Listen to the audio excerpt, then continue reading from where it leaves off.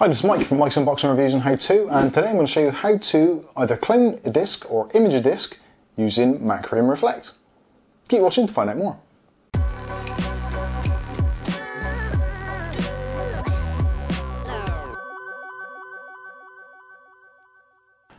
Okay, so if you're having problems with your PC, then possibly it's a little bit too late already.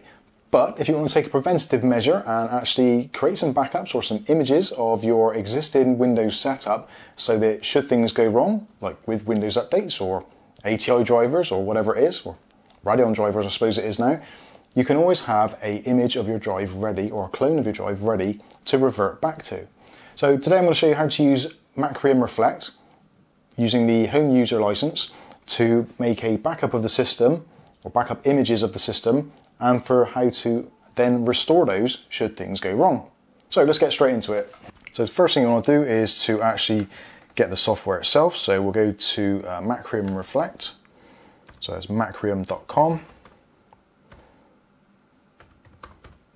And in the software version, obviously there's loads of different versions of software. Get the one which works for you. You can have a paid version, etc.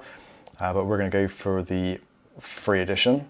Obviously, if you're using this for business, then you must use the business version.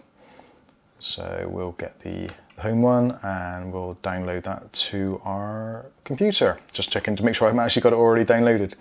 So we'll save that to desktop, sorry, to our downloads, and we'll come back to that in a second. Okay, so once the download's got done, you can click on it and it's a reflect dlhf.exe, so we'll double click that and this is the installer. So you can pretty much leave all of that as it is. Just click on download and there's a download of about 100 megabytes for the, uh, the program itself, yeah, 101.9. So again, we'll let that carry on and download and do its thing. There is actually a tick box there, says run installer automatically after downloading. If for some reason you don't want the installer to run straight away, you can remove that checkbox.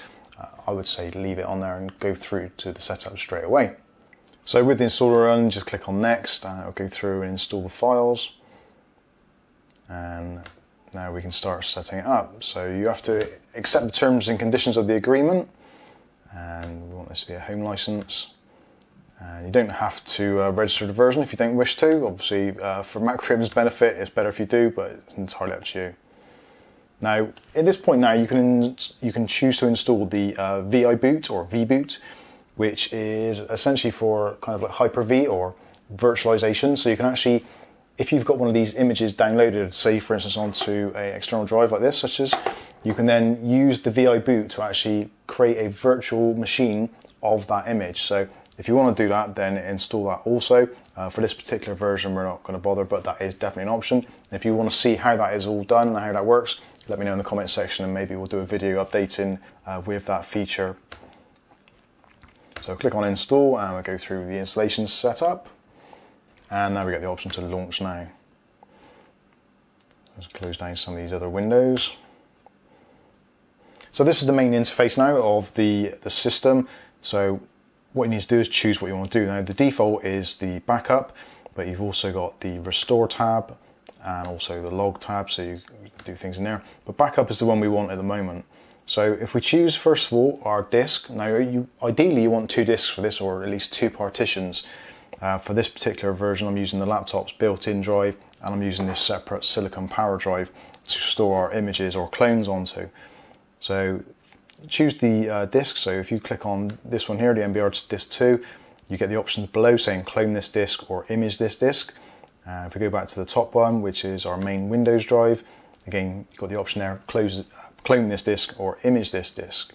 So what we're going to choose to do is we're going to choose to image this disk. Now first of all make sure that the drive that you're actually going to be putting the information on is formatted and is available to be used. So at the moment our uh, secondary disk is currently FAT32 so I'm not too sure whether it will allow us to actually create the partition on there or create the image on there.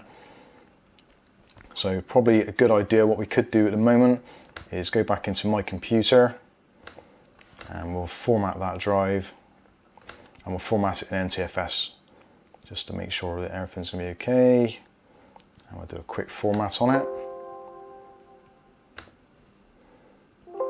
There are some file size limitations to FAT32 so sometimes you're better off with NTFS.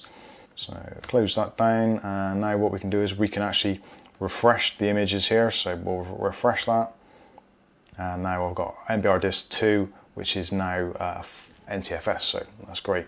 So we choose the first disk and we'll choose image this disk first of all. So there is our source, which is the top one. Now you don't have to do all the uh, partitions if you don't want to. I choose to just because it's easier to uh, restore the entire disk. If you want to, you can just do the NTFS primary partition. Again, entirely up to you. So it's actually the destination. So our destination, we'll click on the three dots on the end and we'll stick it on our Silicon Power B75 Pro. Click OK. And image name, you can choose an image name if you want to. I'm just going to leave it as it is. And we'll click on next. So now you can set up templates or schedules. So there's various ways you can do it. There's default ones built in. So you've got a grandfather, father, son setup. So you've got your daily incremental, which is your son, your weekly differential backup, which is your father, and the monthly full, which is your grandfather. Uh, that generally works for most people. So I'm going to choose that one. And at this point, you can edit a schedule when it does it. So at the moment, it's doing it at nine o'clock on the first Monday of every month. Uh, that one's doing every Monday every week, and that one's doing it every day, starting at nine o'clock again. The incremental one, because it's a daily, you might want to set that to a different schedule. You don't have to have a schedule for the don't. You can run this manually from a XML file, but generally, if you just leave it set up, it's easier to do. You've also got data retention rules as well, so you can keep full backups for a certain amount of weeks and differential backups for a couple of weeks.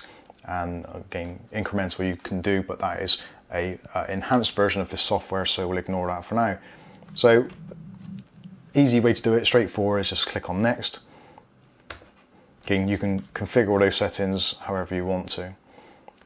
Click on finish and you can save the backup if you want to. So enter a name for the backup and if you want to stick it on the desktop, just so you can have a reminder of it and we'll click on OK. So that's going to run the backup now. There's also going to be a shortcut on the desktop. So if for some reason you kind of think, oh, I haven't done a backup or I need to do a quick backup, maybe you're about to change some hardware or install some software, which you're a little bit dubious of, click on the button, run a quick backup, and then you've got your image ready for you on your external drive or on a partition on your drive elsewhere if you wanted to.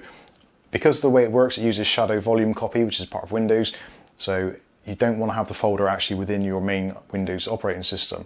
It does need to be somewhere separate because obviously then you're trying to make a copy of a copy which is already in use, which uh, doesn't work particularly well. But if you do it this way, set it to a separate drive, at least that when you've, you've got disaster recovery. So say for instance with the laptop, if the laptop got stolen or something, and I've still got my USB uh, drive, I can plug this into another laptop somewhere, run VI boot, and I can get into my system and use it as I would alternatively, if I got a different machine, uh, a new model, say for instance again through insurance or something like that, if it got stolen, I could use this and then just restore straight back to the laptop to have it how it was on the day I did the backup, which is really good. And all of this is completely free if you're a home user. So it's pretty sweet. So this uh, backup is going to take a little while to go through, but this is a, a nice easy way of creating an image. The cloning process is pretty much the same. So you have a source drive and a destination drive. Ideally, you want your destination drive to be larger than your source. Uh, otherwise, it can get very messy because you have to start resizing partitions. Again, if that's something you may be interested in, let me know and I'll do a video on that also. Um, essentially, it will be a one for one copy. So it will overwrite any existing data and you can't use the drive for anything else. So say for instance, in a case like this with the Silicon Power drive or an external USB drive, if you've already got folders and files on there, then a clone backup is probably not the way to go because it will erase whatever's on there. Whereas if you use the image backup, then that will just put an image file on the drive along with all your other data. So there you go, there is how to use Macrium Reflect to create an image file of your Windows based computer. I've been Mike, this is Mike's Unboxing Reviews and How To, and hopefully we'll catch you in the very next video. Thanks for watching.